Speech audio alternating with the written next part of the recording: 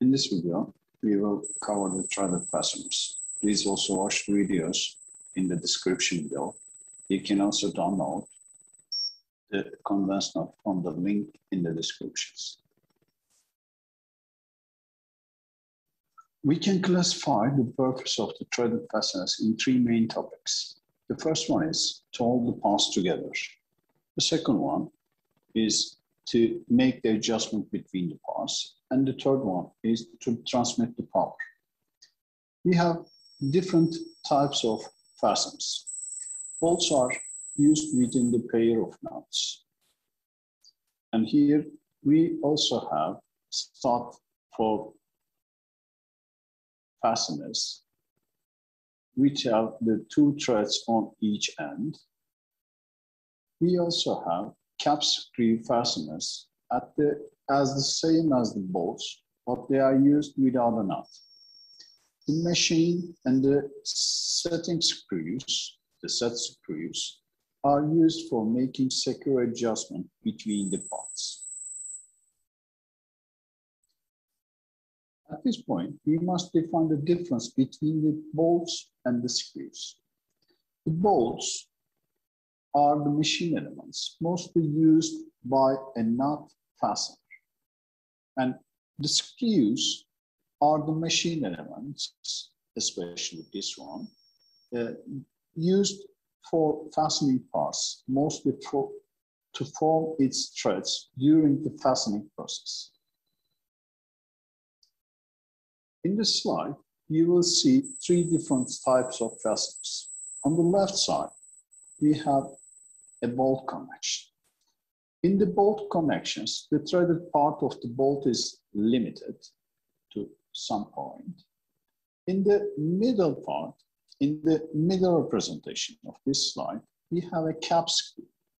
The cap screw have much more threads when we compare to the bolt connection. The difference between the bolt and the cap screw is the length of the threaded part of the cap screw, which is longer than the bolt.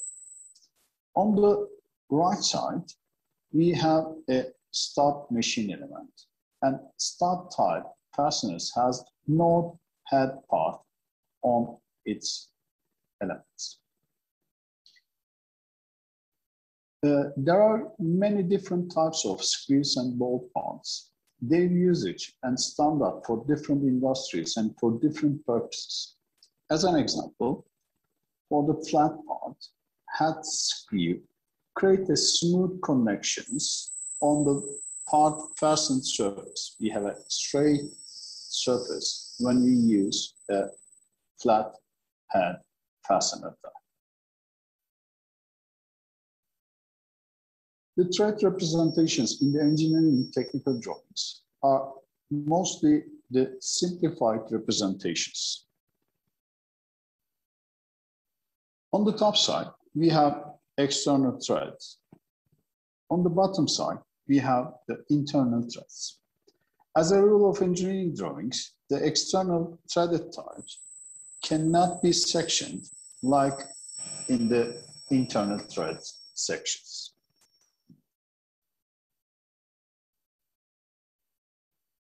In this slide, we have an internal thread representation for the holes.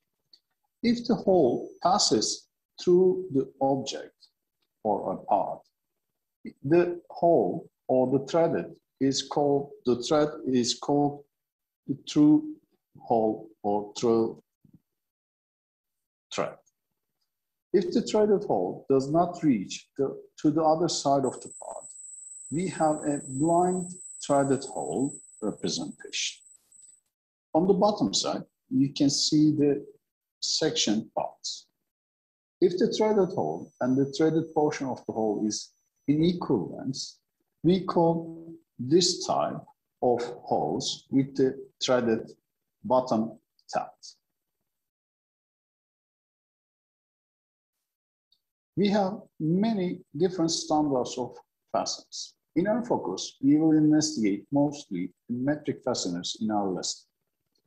In the metric type fasteners, we have the letter M in the its definition.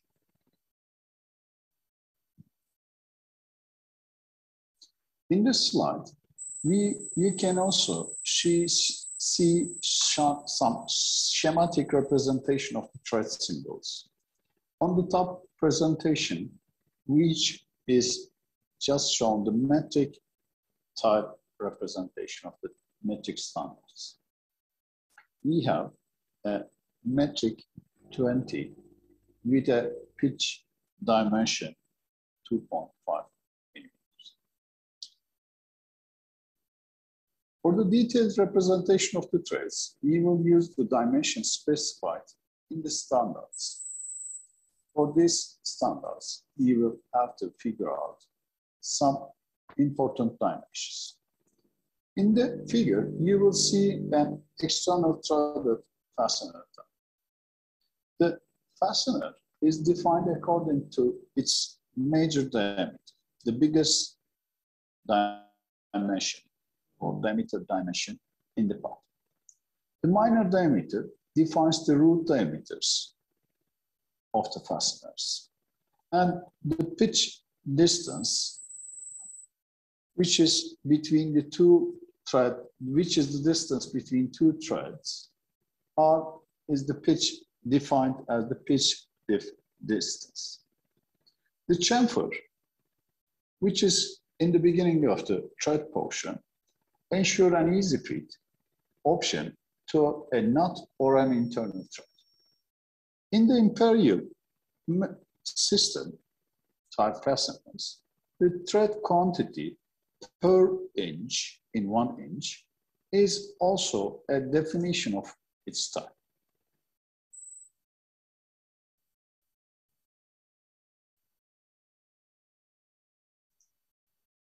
In this slide, you will see the metric hexagonal bolt basic dimensions.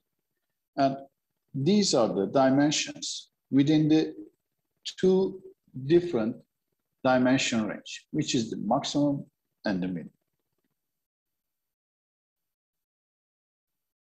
In this slide, you will see some thread dimensions according to the different standards.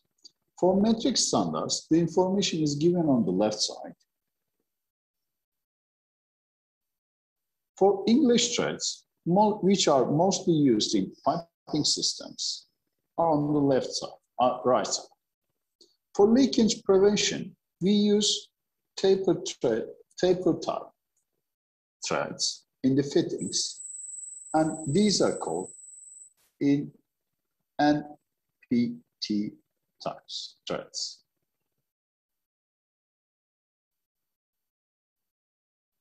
For internal threads, we must think two steps. We have to first make a drilling, then the thread form. The minor diameter of the internal thread, which will be equal to the tapping drill dimension. The major diameter of the internal thread is formed by a tap or a machining In this slide, you will see some stand, standard dimensions of the metric hexagonal standard.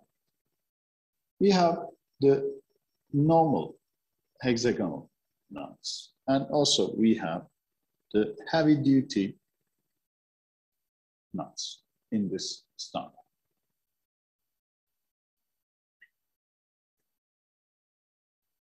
In the normal standard fasteners, there must be a clearance between the minor and the major diameters so between two fasteners, which will be equal to or very close to each other. These dimensions also must be within the tolerance at least a class for C for metric threads.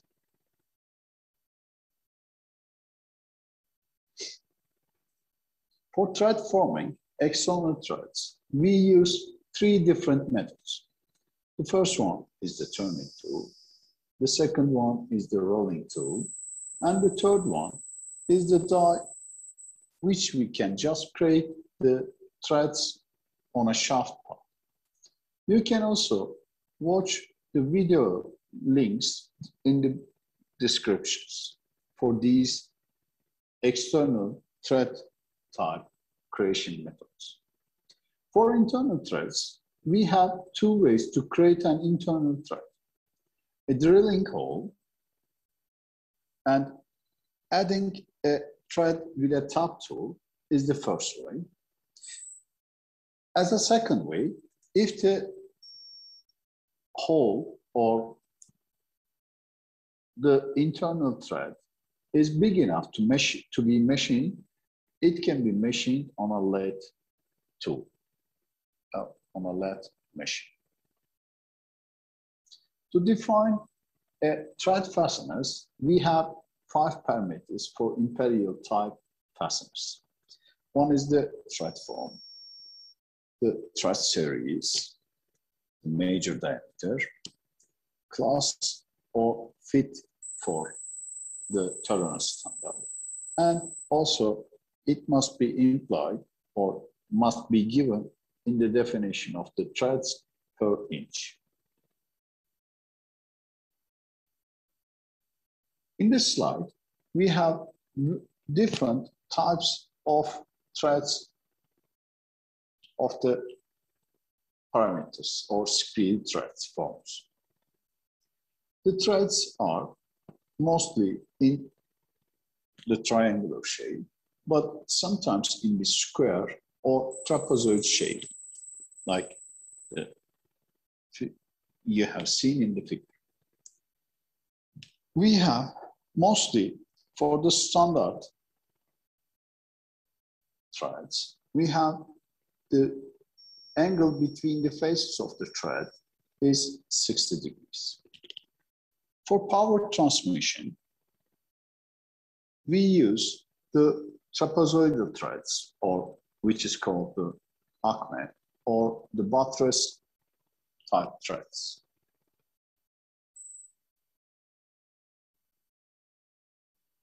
You can also find some useful dimensions about the threads in, uh, threads in this slide. As you see in the formulas of the tables, which are given above, here these are parameterized by the pitch dimension or the diameter dimension.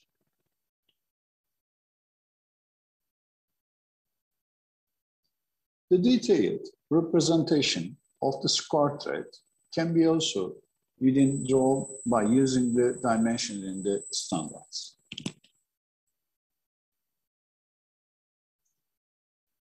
We use taper type threads to prevent the leakage prevention. This is also, this will be also covered in some other slides. In this slide, which is on the left page, we have the metric trapezoidal top thread definition on the top side, which is mostly used for the power transmission type. And its definition is in the TR representation rather than the metric representation. We also have the buttress type threads. And here, the again, their definition is starting with the S standard for metric threads. The buttress type threads are used for high thrust power transmission.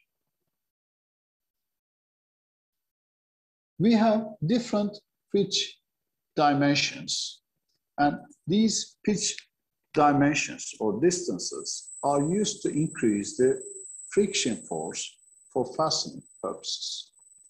The thread size is measured with a gauge and the thread size in the imperial fasteners are mostly implied by the one inch distance. We will just cover this process in the future. For the standard imperial types of fasteners are the coarse series. If you would like to just in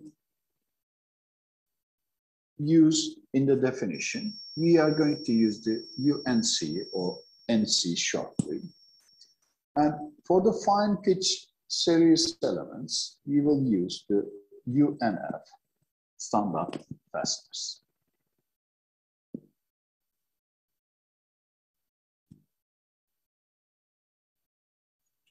We also increase the thread quantities in the fasteners in order to have a quick movement during the power transmission or a coupling of an element.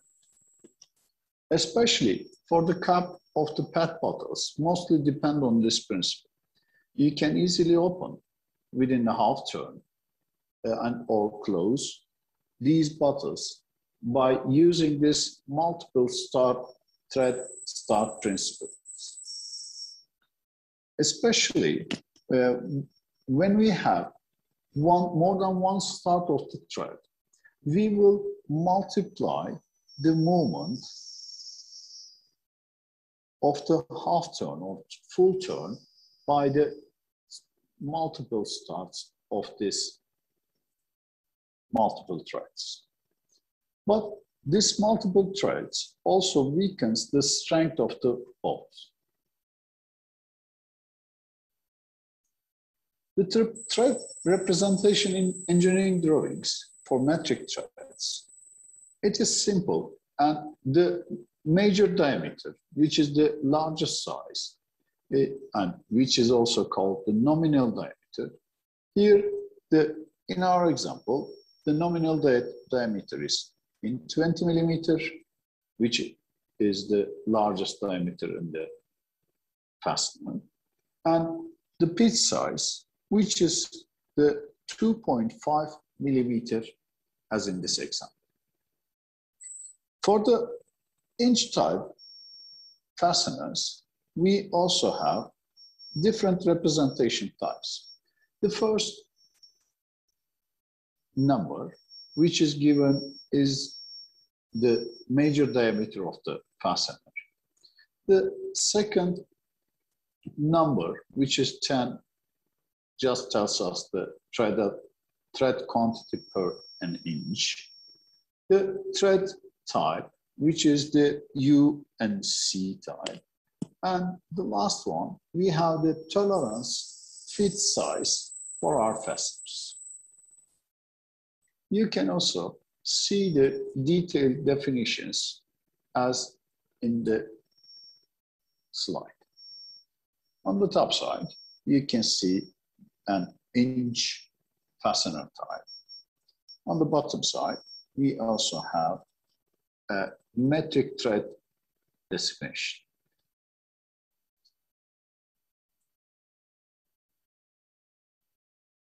This is also the same type for this slide.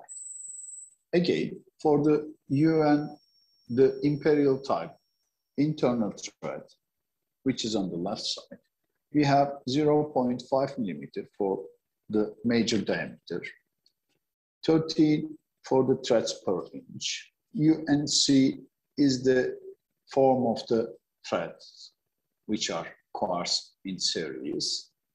And the class and fit series are, which are implied at this point. This is also the external threaded fastener, which is the, if you would like to just normally the rotation of or the form of the fastener, we have to imply the rotation within the lattice of left hand screws.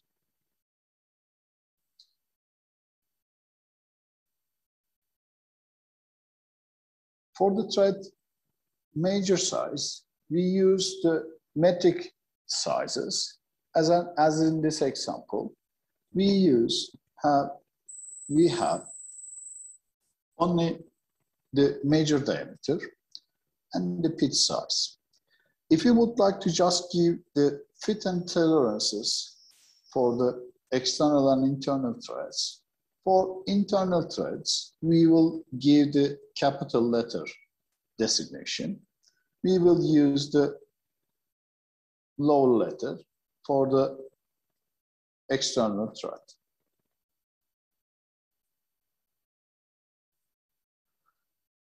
For the thread measure size, we use mostly the tables in which are specified in the standards.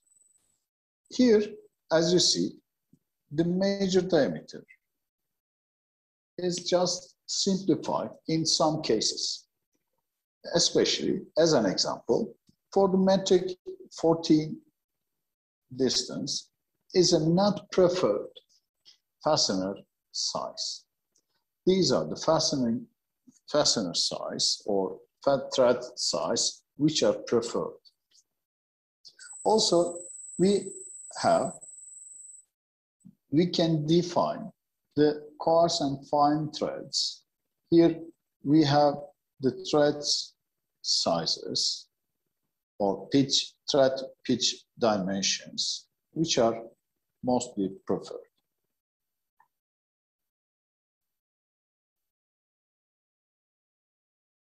fastening elements and to have a